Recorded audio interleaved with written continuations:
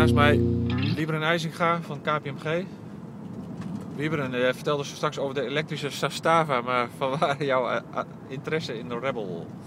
Nou ja, e- elektrische auto's. Eh, auto's hebben mijn belangstelling en eh, aandrijving van auto's. En eh, ja, volgens mij met fossiele brandstof komen we er niet meer. En eh, ik vind het een, eh, een goed alternatief, maar ook een heel leuk alternatief.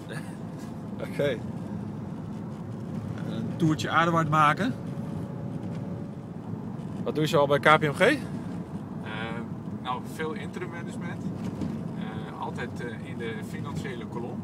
Ja. Dus dat kan boekhouding zijn, maar processen beschrijven, afdelingen samenvoegen of ja, functioneren van afdelingen eens even. eh, ja, ja.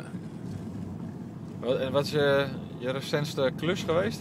Nou, dat, dat zat in de energiesector. eh, eh. Voor eh, twee Europese energiebedrijven zijn we met CO2-opslag Ja. bezig geweest. Oké.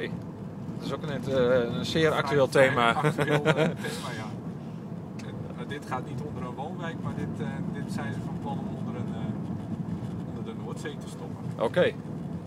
Maar daar zullen ook wel weer de nodige protestgroepjes. Ja, ja, Greenpeace is er tegen. En, eh, nou, er zijn nog wel wat burgerinitiatieven die Ja. eh, er ook niet zo warm voor lopen. Nee, oké. En Wieberen, wat Ja. vond je net van de, van de rit in de Beetle? Een prachtige ervaring. Eh, een leuke auto, maar de aandrijving was toch wel het meest bijzondere. En, Ja? eh, ja, eh, boven verwachting.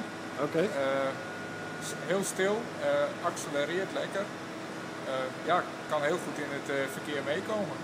Mooi zo. Dank je.